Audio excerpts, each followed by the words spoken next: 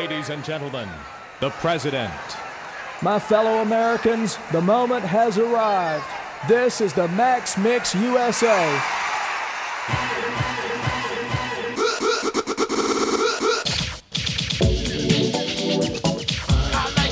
Aquí